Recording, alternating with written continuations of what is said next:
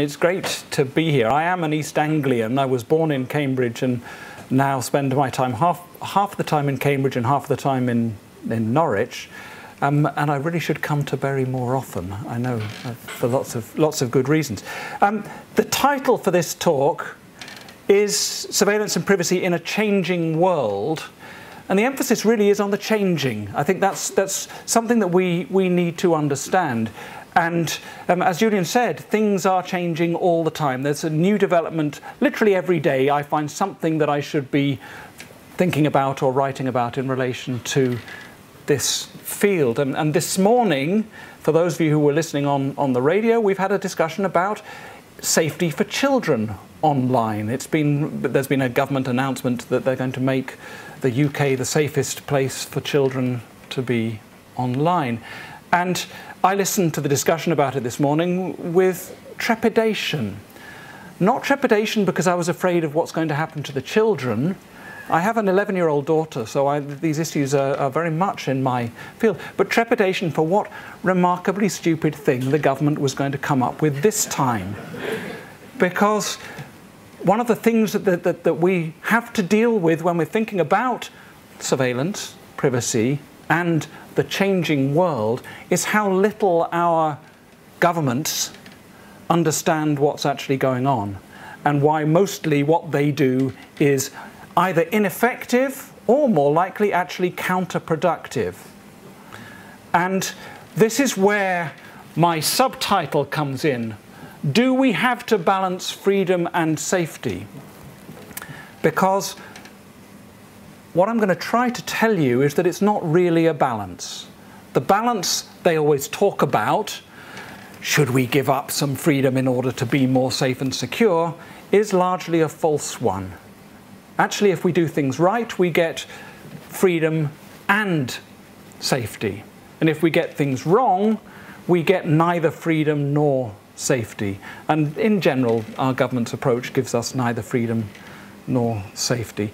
But that's I, would, I should say that's not a political point, even though I politically disagree with this particular government enormously. Um, it was equally true under the, late, the last Labour government that they got policy over the internet and so on pretty much completely wrong in, in, in every way. Um, so I'm not making a, a, specific political point, I'm making a more general point. And the general point is actually about this idea of a changing world.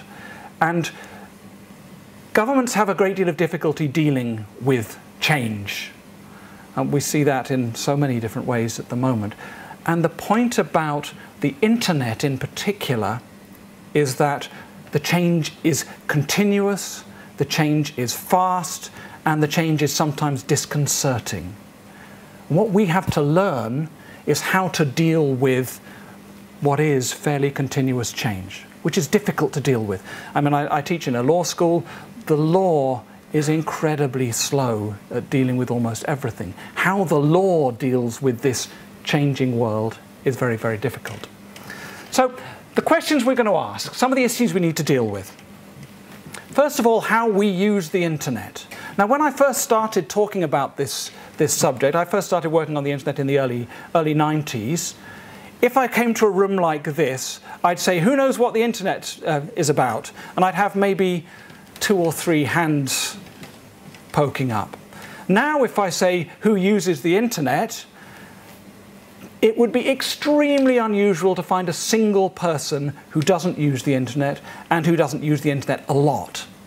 And actually, almost everybody uses the internet more than they realize they use the internet. They're doing stuff that uses the internet when they don't realize they're doing stuff that uses, uses the internet.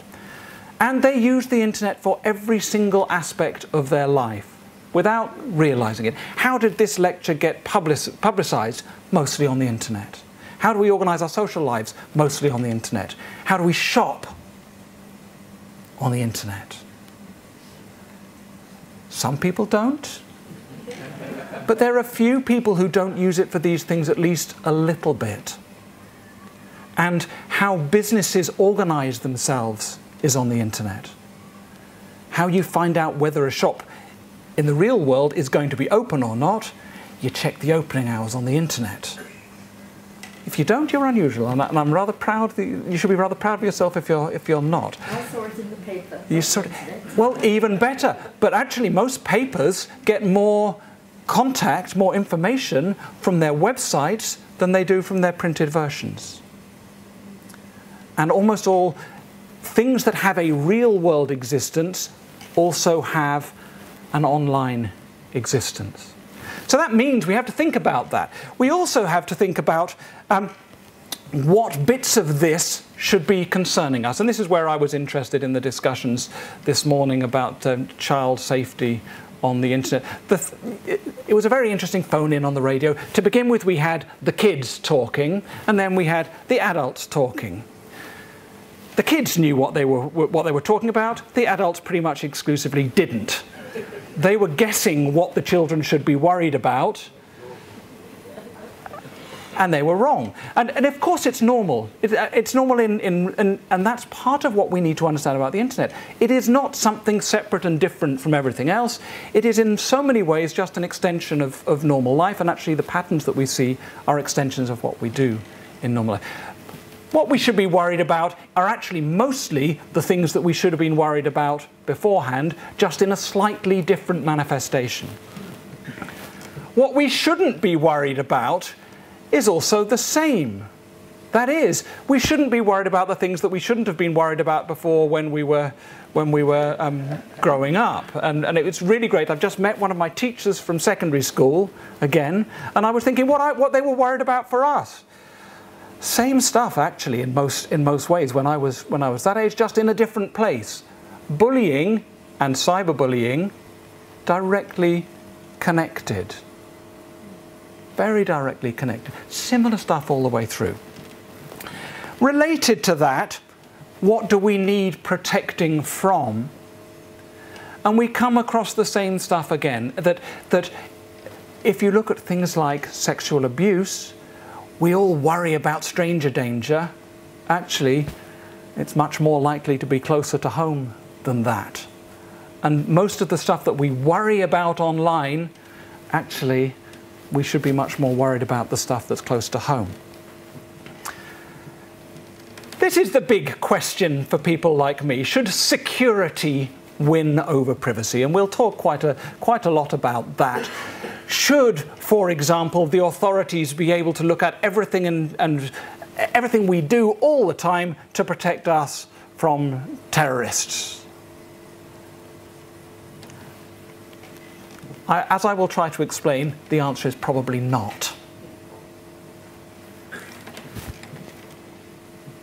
And finally, this is a question that will run throughout the thing. What is privacy anyway? Because actually we talk about it a lot without pinning it down. And as I will explain as a privacy scholar, the, trying to pin it down is actually one of the problems. It is really hard to define what privacy is, but actually it's relatively easy to feel when something is invading your privacy. Sometimes it is, a, it is more, this feeling is, is something creepy or not, is actually a better judge of whether it's invading your privacy than does it fulfill some precise definition that some scholar has put in some book or some lawmaker has put into some law.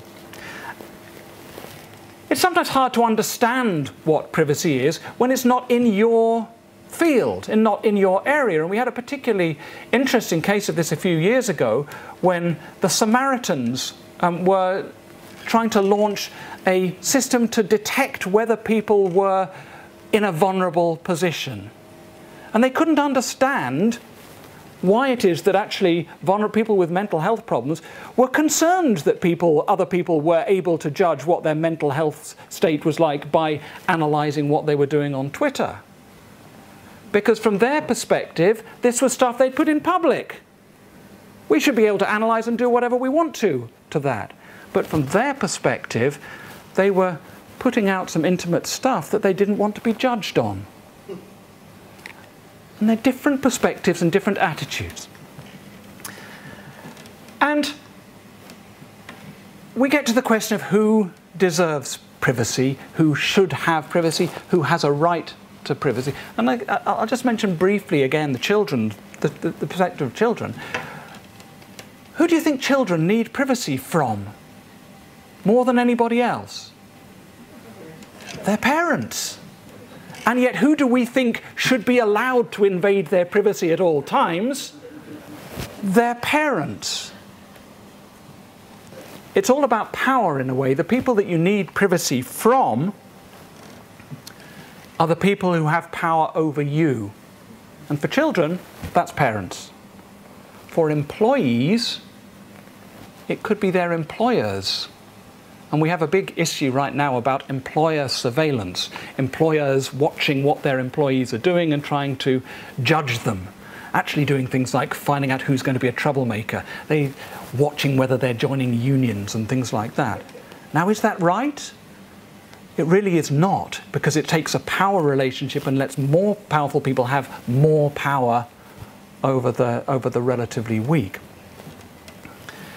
And this question of whether we have privacy in public is a big question, which, which I'll talk about more because when you're on the internet, what is public and what is private is much more complicated to judge. But we have this question in the real world as well. Am, we, are we in public here now? Yes? Okay. Are we in public if we're in a shopping mall? Well, you may not, might be surprised to know you're probably not. The shopping malls are generally owned by companies. They are private places that that's why they can have security guards in those places and CCTV that's under control of them. Does that count as public? And on the internet, it's much more complicated. If you're on Facebook, is that a public place? These are not questions that have easy answers. And that's true not only in terms of the law, but in terms of what we feel.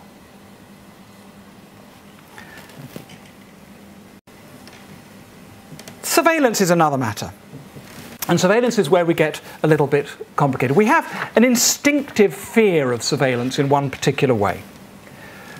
As you can see, if you watch any kind of dystopian future film or read any kind of, uh, kind of fiction, there is an idea that surveillance is a bad thing. Big Brother is watching you. And I actually do a talk um, where I use the films of, of Disney, the Disney princesses, as a way of illustrating how um, privacy works. Every single villain in every single Disney princess film uses surveillance. It may not, may not be particularly obvious, but they do. The queen in Snow White looks in the magic mirror to find where Snow White is. Surveillance.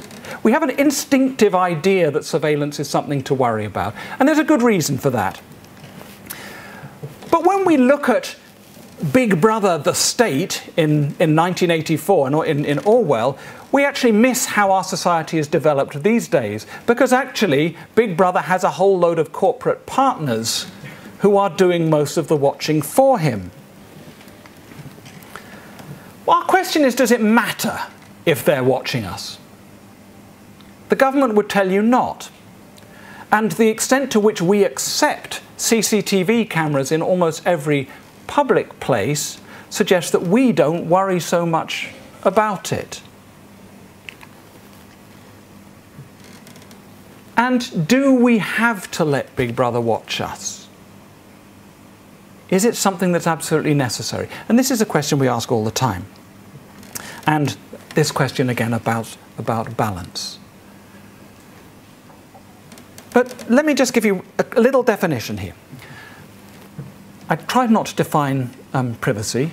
I deliberately avoided it. I am going to try and define surveillance. David Lyons is one of the biggest, the most famous surveillance scholars. He defined it as the focused, systematic, and routine attention to personal details for purposes of influence, management, protection, or direction. Now, some key words in there. Notice that we're talking about influence, management, protection, and direction.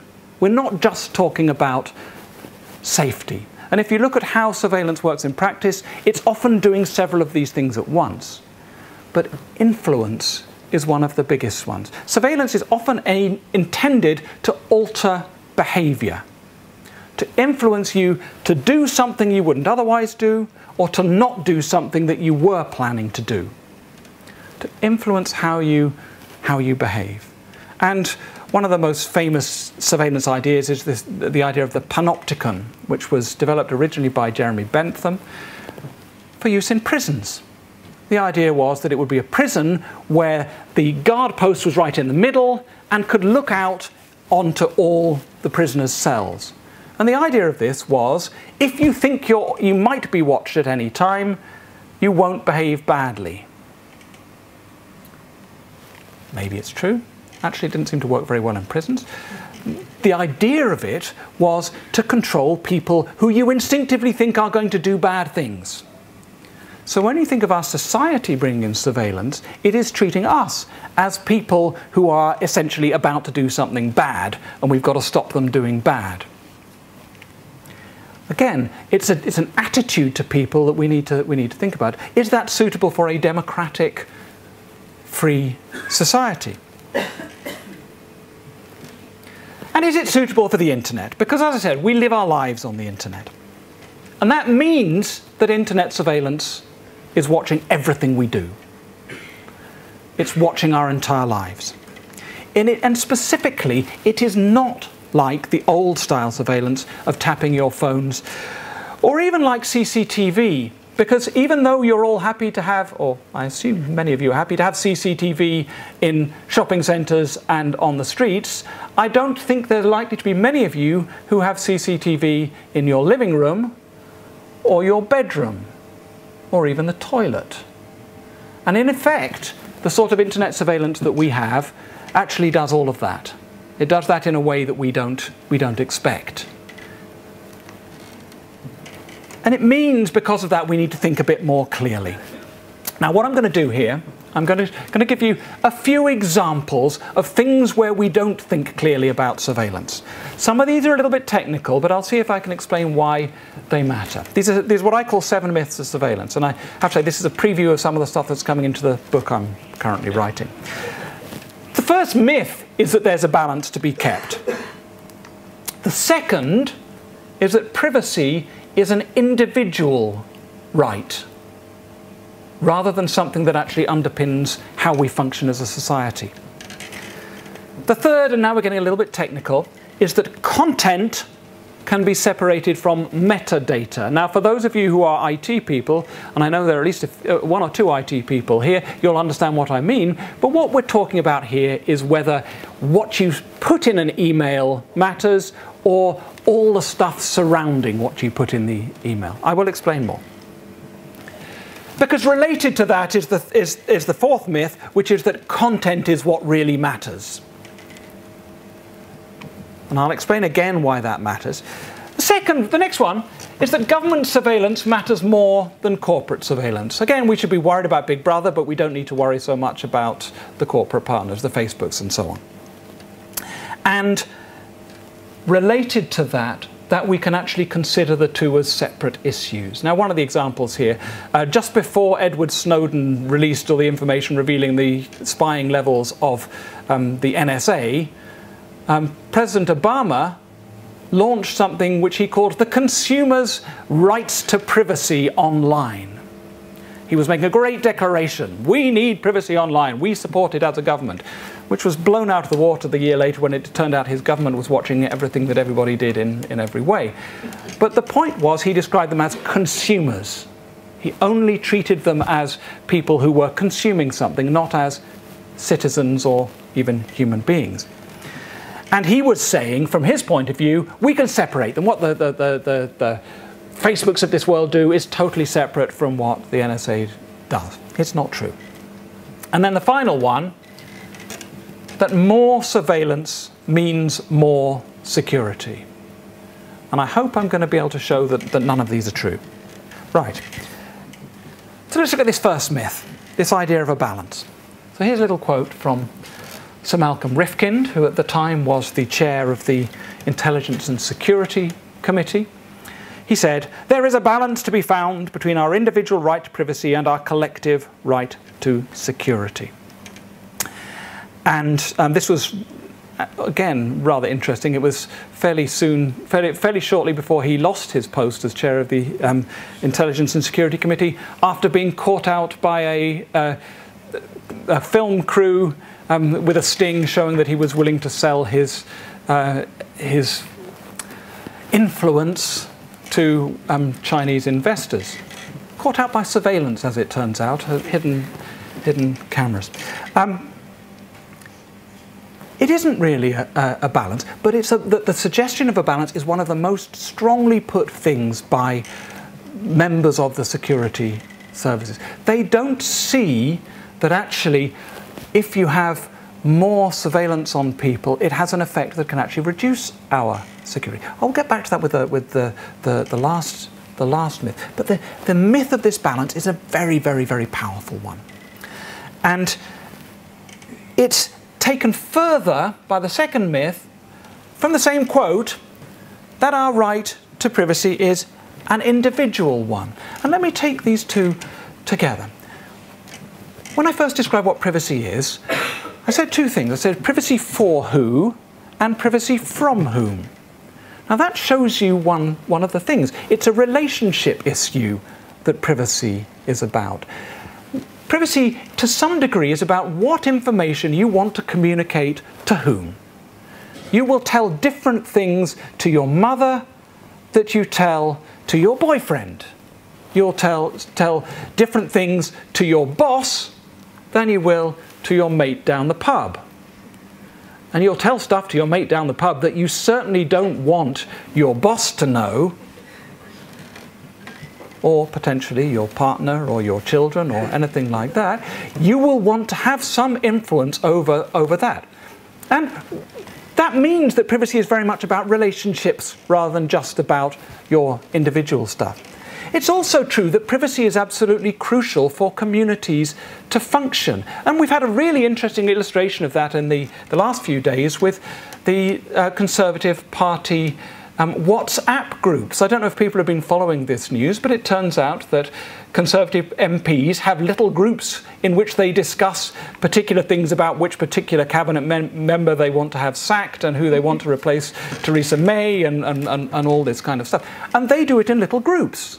And those groups could not function without having privacy within their individual groups. And in fact, one of them complained that others were leaking out information from their group, so breaching their privacy, which meant they couldn't talk frankly about which member of their cabinet they wanted to sack, and, and so on. But it shows you, if you actually want to function as a group, your group needs privacy from the outside world or from other groups privacy works very importantly as part of what makes groups work. It's not just an individual right. Moreover, having privacy increases your security.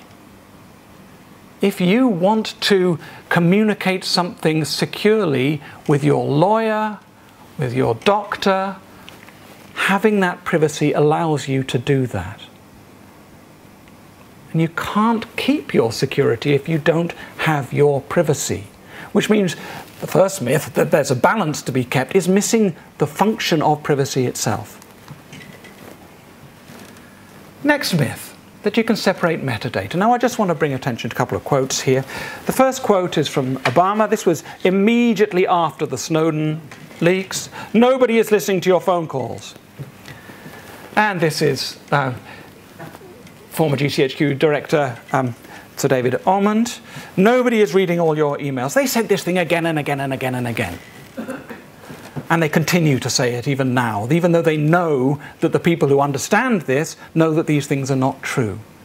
Particularly when you're looking at internet surveillance, they think that somehow the sites you visit doesn't tell you anything about the content of the sites you visit if you go to a site, if you, if you visit the Samaritans website, it doesn't mean that you have, it, it doesn't tell you that you're visiting a site that tells you something about um, suicide prevention.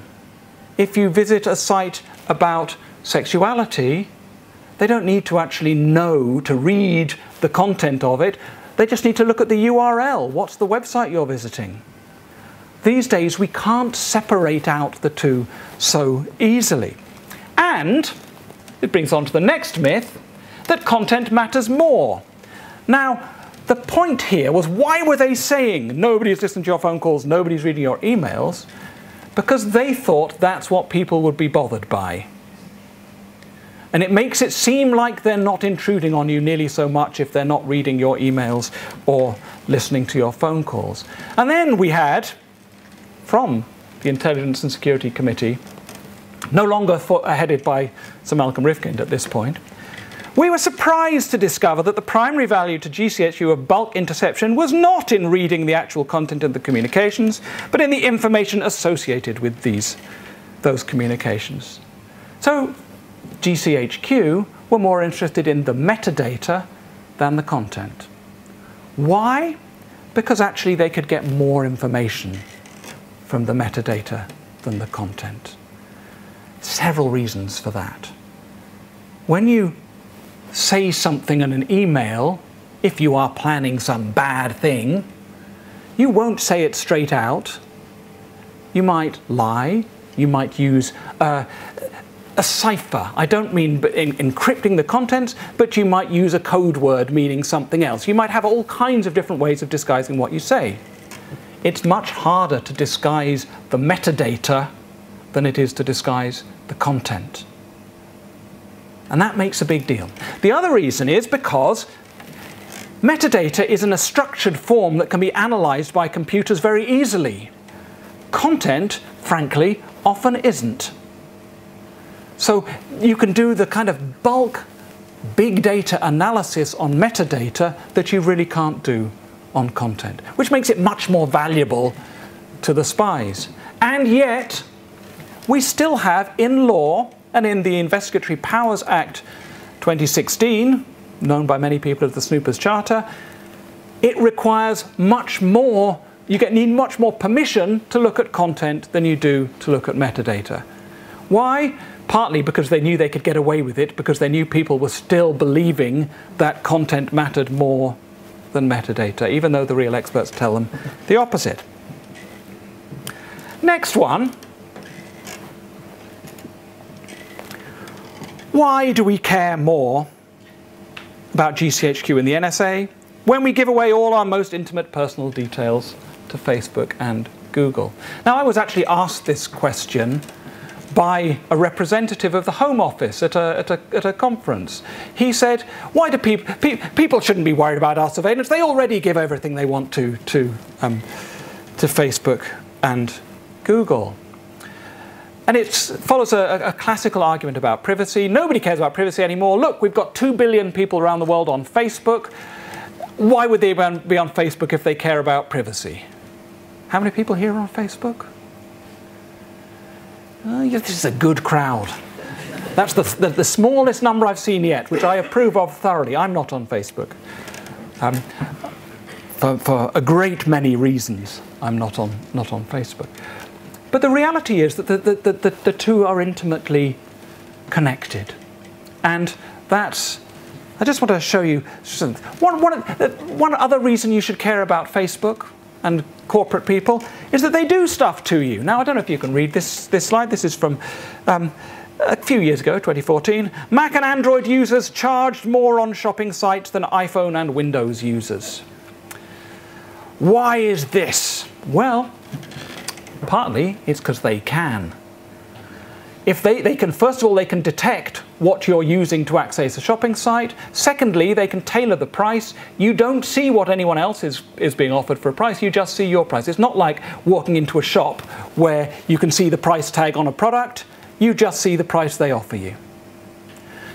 And they have worked out that Mac and Android users will pay more than iPhone and Windows users. How have they worked it out? By psychologically analyzing you guys, knowing who it is? No. Just by doing big data analysis. They just know how many people have visited and how many people have done this, and they can work it out, and they can automatically charge you more. Now, they can get all kinds of information about you.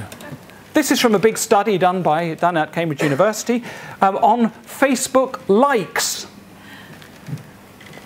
And they found correlations between whether people liked curly fries and their intelligence. I didn't put on here that if you have liked motorbikes, it shows that you are less intelligent.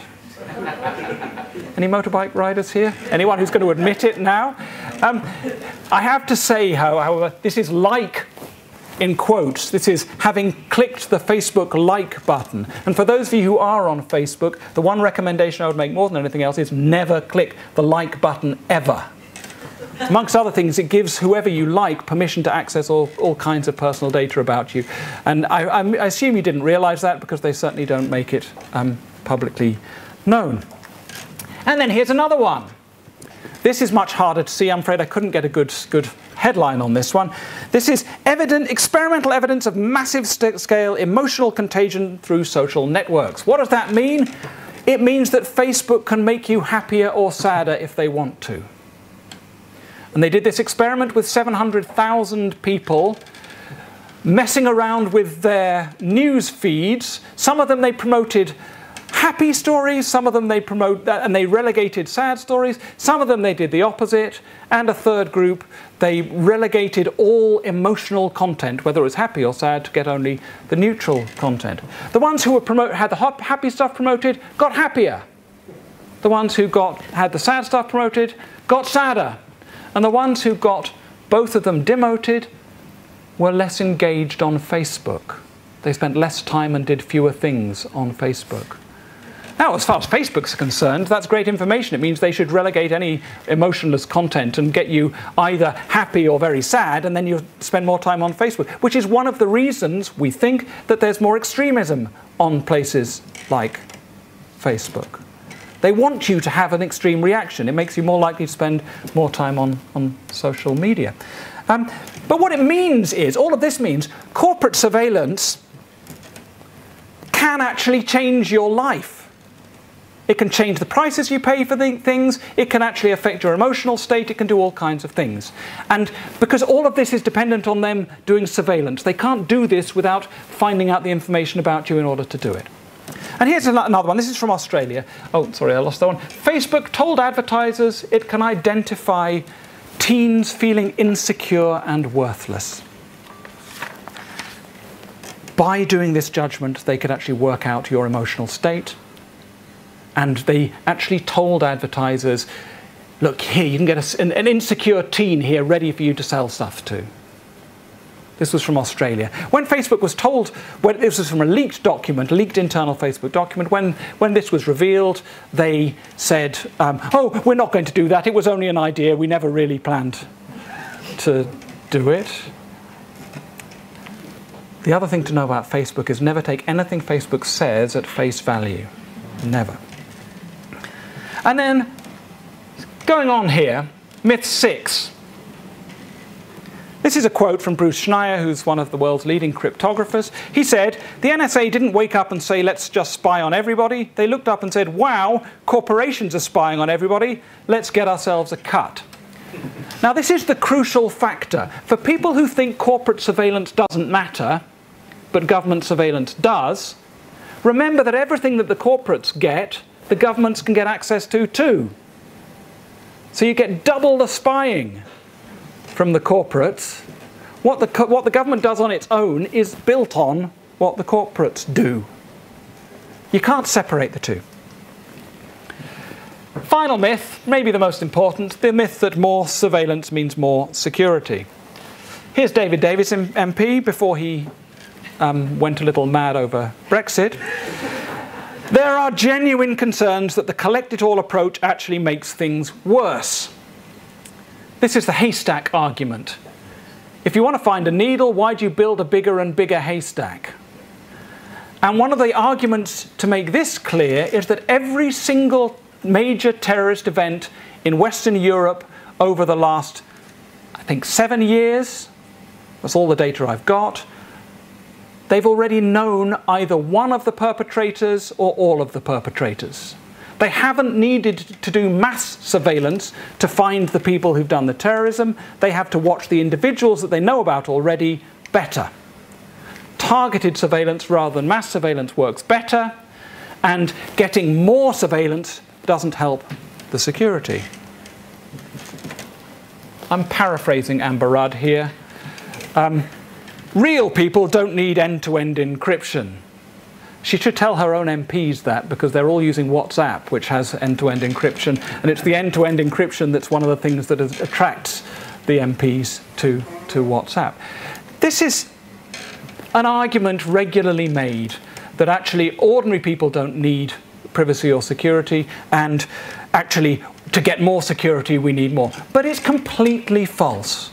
If real people don't have end to end encryption, it makes it easier for cyber criminals to perform all kinds of bad things to them. It makes identity theft easier. It makes scamming easier. It makes data breaches when they happen, and they happen a lot, more damaging. Because if the data that's breached is not encrypted, then it can be used in ways to harm you much more often. Amber Rudd could not be more wrong, really, on this, because it's the real people who do need the end to end encryption, because the bad guys can put their own encryption on themselves. If we remove encryption, as Amber Rudd would like, we actually help the bad guys because then they're the only ones who can be secure. It's entirely wrong that more surveillance means more security. Generally, very much the opposite. So, what do we do? Well, I think one of the most important things is to keep following developments, and we said things happen every day. And we've got new things coming along. I'll just go through a few of them. We have facial recognition. Now, those of you who are looking to buy the newest iPhone, the one that's not quite out yet, the iPhone X, it's replaced thumbprint recognition with 3D facial recognition. You just look at your phone and it, uh, it unlocks. Facial recognition is becoming a big, big thing. It is something we need to be distinctly concerned about. And for those of you who have children or grandchildren, and you're happy to put your children and grandchildren's photos up on social media, when you do that, you're actually adding them to a massive facial recognition database, which then can be used against them. The Internet of Things. That means things that are connected to the Internet, really. It's the, it's the buzzword. It means a smart fridge that tells you when you need more milk and then potentially orders it from, from an online shop to get it delivered to you. It means a smart kettle that you can control with an app on your phone to make it boil as you're walking down the street so it's ready for your cup of tea the moment you get in. Now, you may think these things are absurd, but people have them. And smart kettles were actually used as a route into a major hack for. Uh, quite a lot of, with, did quite a lot of, lot of damage. One of the biggest, what we call a denial service, of service attack that took down large parts of the internet was done through a particularly insecure web, web controlled camera that could be, um, you could operate from, from a distance, and so could the hackers.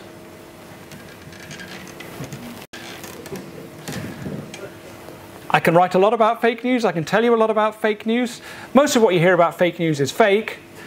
Um, but that's, that's another story. We have to be very careful about these. There are some reasons, there's a lot of evidence to suggest that fake news is believed more by people than real news, and it's believed by, more by real people uh, than real news for lots of good reasons.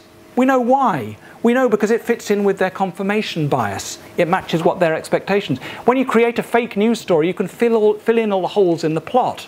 It sounds more convincing than real news, which is bit messy. Troll bots, you probably heard about, uh, uh, you may have heard a little bit about this. Basically, the idea is the Russians have got millions of, of fake identities on Twitter pretending to be nice, ordinary people who are telling you all kinds of stuff. And there were a lot of these uh, in concern with the Brexit um, referendum campaign, amongst, amongst other things. Political manipulation, again, follow the story about Donald Trump and Facebook and the Facebook ads. It's real. It's not a, it's not a, a, a, conspiracy theory. It happened. Whether it happened enough to make a difference in the election is still not clear, but it did happen and is continuing to happen. And all of it fits together. Now, I'm just going to finish with a couple of things just from the last week. I just thought, just to show you how things move fast. This is from October the 4th, a week ago. Google just announced a smart camera that takes photos for you. It doesn't, doesn't just take photos when you tell it to, it works out with artificial intelligence when you might want a photo taken and then takes it for you. Can you see the slight risks in this kind of a thing? Okay, and then the next one is from Australia. Federal and state police will be given real-time access to passport, visa, citizenship and driver's license images for a wide range of criminal investigations, not just identifying terrorist suspects, following agreement between federal, state and territory leaders. And then you see the one at the bottom. It doesn't involve surveillance or indeed mass surveillance, the Prime Minister said. Now, he largely does that by using a very interesting definition of, of surveillance. Because the data is already there, it somehow doesn't count as surveillance because somebody else gathered the data or because you volunteered the data when you voluntarily applied for a driver's license or for a passport or made a citizenship application. This is where things are going. Much more of it is happening and much more of it will happen. I just want to say how we should deal with it. We should try to stop thinking in, in old terms and using bad analogies. The, the, Home Office regularly called this thing called an internet connection record like an itemized phone bill for the internet. It just isn't. Because we don't use the internet the way we used phones, and the internet doesn't work the way phones do. Know that you don't know. Now that's a, a, slightly strange thing to say, and I sound a little bit like Donald Rumsfeld when I, when I say so. Donald Rumsfeld, it's, it's, actually the one bit of wisdom that Donald, Donald Rumsfeld ever, ever produced. He talked about the things we know, things we don't know, and uh, things that we know that we don't know, and things that we don't know that we don't know. The unknown unknowns. And what we need to be aware of is that these exist, that there's a lot that we don't know, and that if we start trying to make legislation and technology without really realizing our own ignorance, we get into a big mess. Amber Rudd, again, I'm sorry I keep mentioning her, Amber Rudd said, it doesn't matter that I don't understand encryption, um, I can still legislate on it, on it without understanding encryption. And in one way she's right, but what she doesn't understand is how much she doesn't understand encryption. She doesn't just not understand encryption, she doesn't even understand what she should understand about in, encryption. And she's not willing to ask the right people to help her. And that's what we need to do. We need to be more willing to ask the right people. Who should you ask about children's safety online? The children. Don't ask the, the people trying to sell you surveillance technology on kids don't ask the parents who think they're perfect parents. Actually start talking to the kids. And I would say here, there really are experts on this around, on almost all these subjects. There are people who know a great deal. If you're wanting to know about encryption, talk to the people who know about encryption.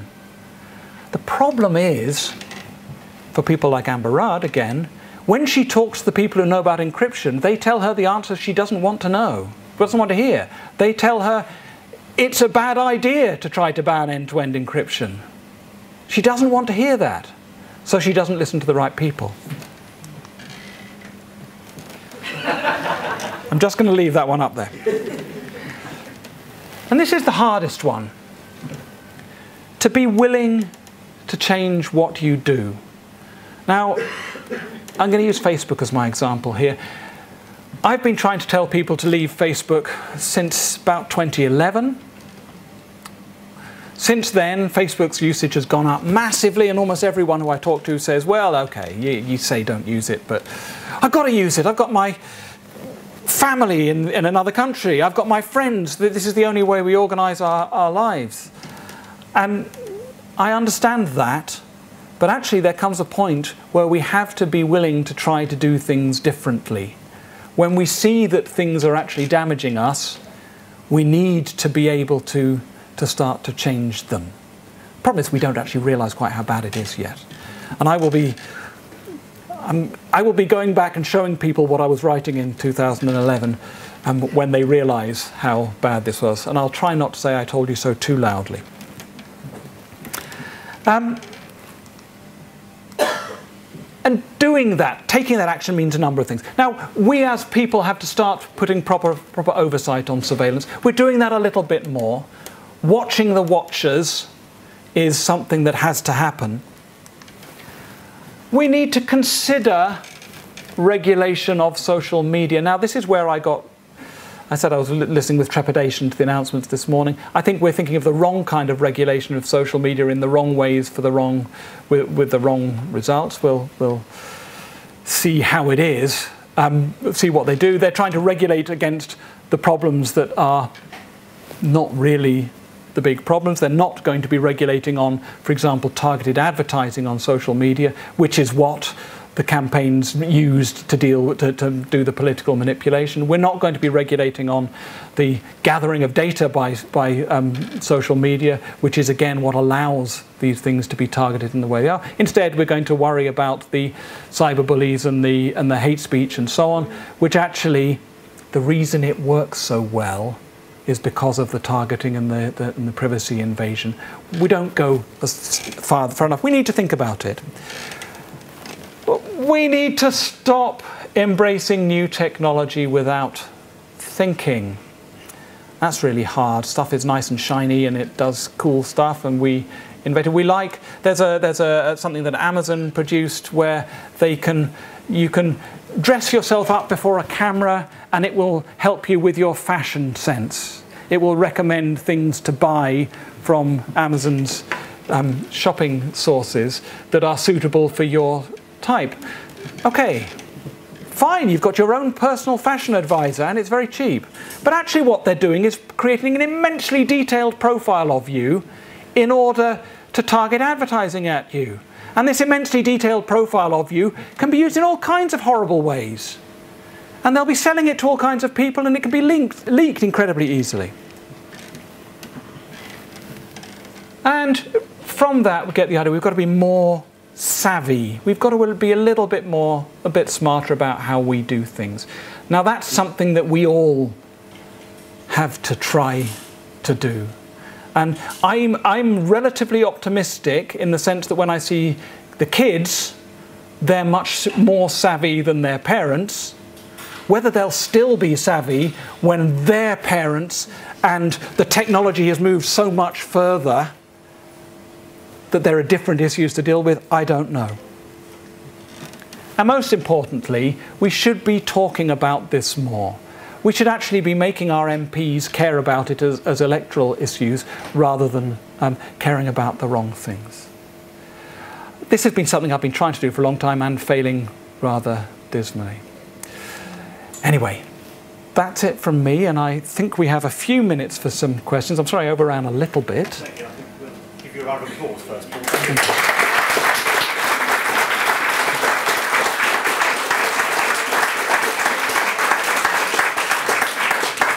Thank you ever so much. Would anyone like to ask a question? I've got a question. Yes. Uh, I, I, work for a larger insurance company and uh, one of the big challenges we see is the future unfolds is around cybercrime and, yep. and we're already seeing claims coming from that field in terms of stopping industrial processes, industrial espionage, you know, blackmail, yeah. large corporate.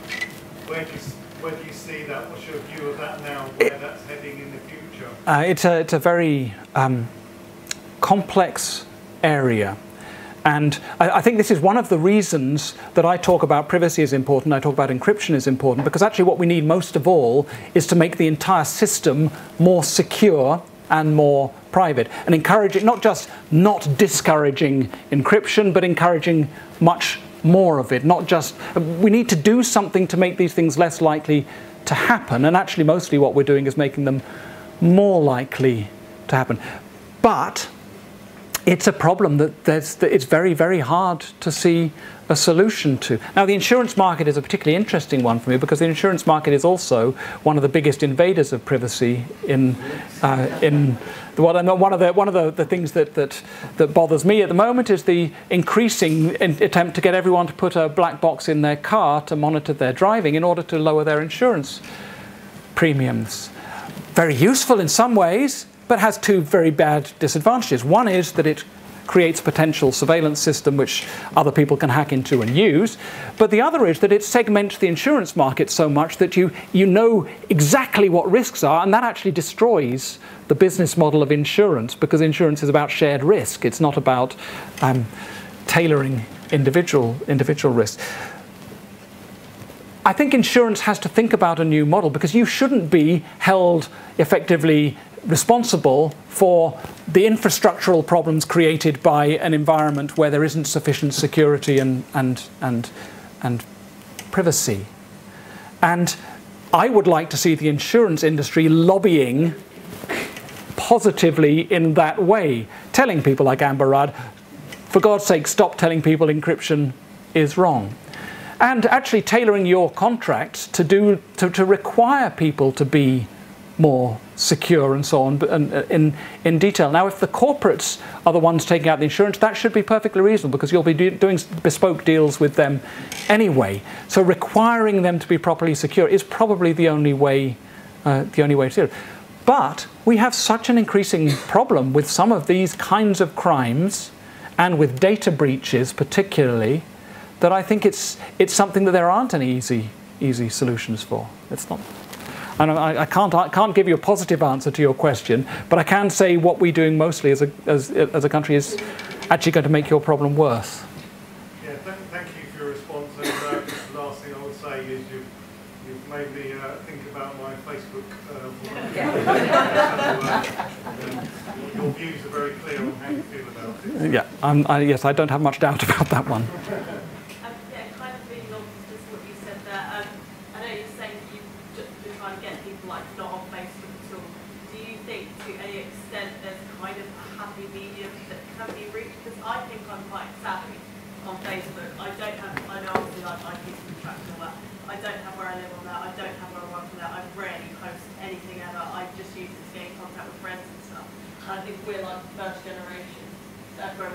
kind of been the norm to have it. And yeah.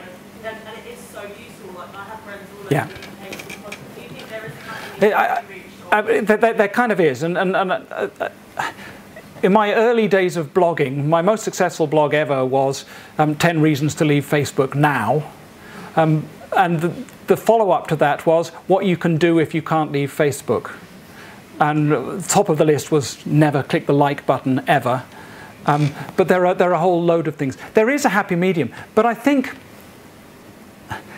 what's more important than reaching that happy medium is understanding the implications of what, of what things like Facebook. Facebook is a special case because it's so much bigger than all those. And the fact that they own Instagram and own um, WhatsApp as well doesn't, doesn't really help. Um, it's, it's that, that the amount of power they have is extreme.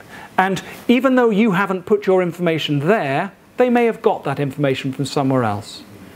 I don't have a Facebook account, but Facebook know who I am because my sister has a Facebook account and she occasionally mentions me and she will occasionally put photographs up that have me in them and they will automatically create what we refer to as a phantom profile of me. And they fill in the gaps of your profile with information they get from, from other directions. So it's not, you being savvy is a help, but while everyone else isn't savvy, it's not that much of a help. Do you see what I mean? And I, my personal view is that until Facebook changes radically, then I think minimizing is the first is the best idea. But actually, if you can leave, leave. But I know, particularly for your generation, most of the social activities and many of the other activities are organized through Facebook. There's very little other way What about organisational Facebook accounts then? Like the University of Suffolk Facebook? Yes, I, I, I um, have an interesting relationship with the University of East Anglia's Facebook activities. the, the, the Law School Students' Union um, so, sold its annual hoodies only through Facebook. And I wrote them saying, this is very bad.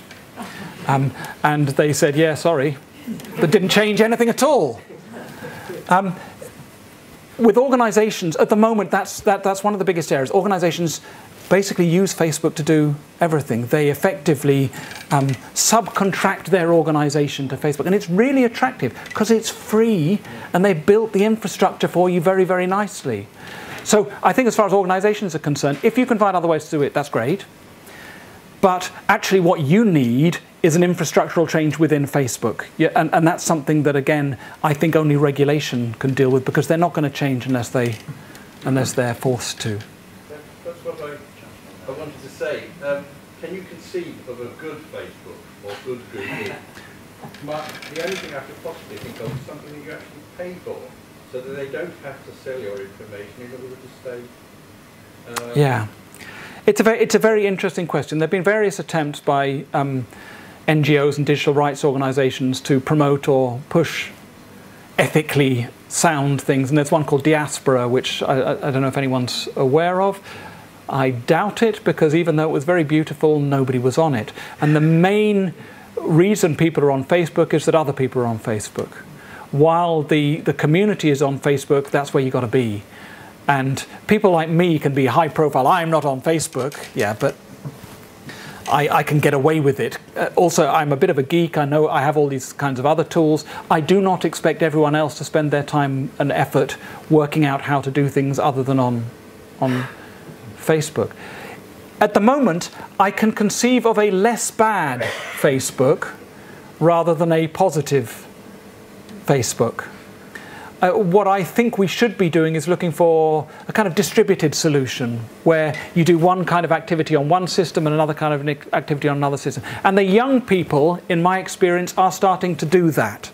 And that's one of the reasons Facebook bought WhatsApp, because they found that the young people are using WhatsApp to do the stuff that they wanted them to do on Facebook. And they said when they bought WhatsApp, we're not going to share data from WhatsApp with Facebook. And then about a year later, they said, oh, we've start, just, just started sharing data from WhatsApp on, on Facebook. Um, but if you can find different tools to do different things rather than doing them all in one way, I think that's the only positive thing. I am not optimistic in this area. I think I've been trying to get people off Facebook for years. I don't think they're going to do it. I think I've been, yeah, hoping for something that's never going to happen. Yes, sir. What, what accountability is there, or should there be, from corporations and dare I say governments who ship data to other territories for processing? I understand our government does this, some go to Germany for processing. How, how can we hold them? Well, the, the, the, the data protection law um, says that you can't take data outside the European Economic Area unless you have um, a, what we call adequacy. You have equivalent protection in, in another country. Now, we've had a big problem with this because um, there was an agreement with the US called the Safe Harbor Agreement, which meant they could transfer it to US, and that was invalidated because of a case, a wonderful case, um, which was taken um, against Facebook, effectively, for shifting that data where it could be uh, read by any of the American authorities. Um, within the European Economic Area, um, we currently are allowed to transfer data wherever we want. After Brexit, who knows? Because frankly, the government is in a well, they're in total denial about the implications for data protection of Brexit, even though they've put a new data protection bill in the in the, in the on the, the cards. Um, what you can do, and what data protection law does allow, is potentially huge fines for not providing sufficient security. Because one of the principles of data protection law is that you have to look after the data. And the new data protection law that comes in in um, April 2018 brings in massive fines. The thing is, will they actually use that ability to fine companies? If they do, then that's probably the only way. The only way to punish companies is to hit them in the bank balance in, in the end. And, or, even better, jail their um, chief executives.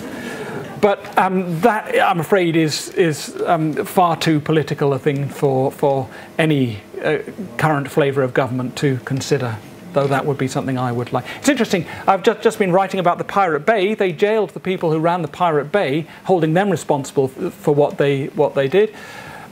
but they don't. That was in Sweden, but they don't jail um, corporations who deal with our data incredibly badly. It's part of the problem. Uh, I, I would like to think so. What you said actually sort of turned around what I thought things were, so tilted it round. But I thought WhatsApp would be quite a good basis to implement encryption. But as you said before, content actually probably not the Yeah, thing um, to be worried about. I, I, I mean, it, it's, I, I, would st- I would still prefer WhatsApp to Facebook. And I'm not on WhatsApp or Facebook, but my daughter is on WhatsApp because, as a, an 11 year old, that's how, if, I don't know if anyone's got children of that age, that seems to be the way that 11 year olds communicate these days. On Facebook, You're not allowed to be on Facebook until you're, if you're, uh, if you're under 13. 13 is the official age. Is lesser evil than? Yes, WhatsApp is definitely lesser evil than, than, than Facebook. Um, and for, for, for numbers of reasons. They don't profile the users in the same, the same kind of way. And because content is encrypted, that is one level of protection. When I said that metadata is more useful than content, it doesn't mean that they can't do hideous things with the content as well. they can. It's the illusion that the content is, it matters more than the, than the, the metadata that's the, that's the key. Thank you. Yes, Sally. So I was just going to ask, I, I feel very similar to the gentleman at the back. I'm sitting here thinking, right, I'm going to go home and close my account. At what point is it too late? Because I've clicked a like on everything. Kittens, um, chocolate, you know. They've got a great profile of you. Um, I- I'll make it even more depressing. Okay, I left Facebook. I was on Facebook very briefly, and I left it as soon as it became possible to leave it. Because in the initial stages, it wasn't possible to leave it. It was only after action from the um, from from the European Union. Any Brexiters amongst you? The European Union is the only thing that has protected our privacy over the last um, 15 years at least. Um, after action by European Union, they allowed you to delete your profile, so I did. Um, but there's a website called profileengine.com that archives old Facebook profiles. My Facebook profile from all those years ago still exists on profileengine.com. I emailed profileengine.com and said, please delete my thing. They said, certainly, sir. Just send us a, a scan of your passport, driving license, and I left it. I left it on there. I decided the, the risk was lower. I wasn't going to send them uh, all that precise, precise detail. There is a state, there is a way in which it's all too late anyway. But uh, I think we can't just give up on, on that basis. I mean, one of the, one of the, the, the, the regular arguments is that privacy is dead get over it. The, the, uh, an American um, CEO of Sun Microsystems said, "You got to, to journalists, you've got zero privacy anyway. Get over it." That was in 1999, and since then we've lost so much more privacy. It's a, it's a funny thing. But my my answer to that is, if we've got if, if privacy is dead, I want to resurrect it. And I think we can do more to change things than we think. And that's when I get back right to the title of this, A Changing World. I like to think that we could actually change almost any of this. Because the only thing that is certain is that things will change. They'll probably change in a horribly worse way, but it's possible to get them to change into a, in, in a better way. Uh, that doesn't really help you very much, I'm afraid. That, that sounds like a concluding statement. Yes. has a burning question that they would like to put. Thank you very much indeed, Paul, for an absolutely fascinating and gripping and revealing and thought-provoking and slightly disturbing, but very helpful talk. I'm particularly disturbed by the smart kettles and also by my creeping sympathy for Grant Shapps. Um, but um, thank you very much. Yes, I, I, I, Thank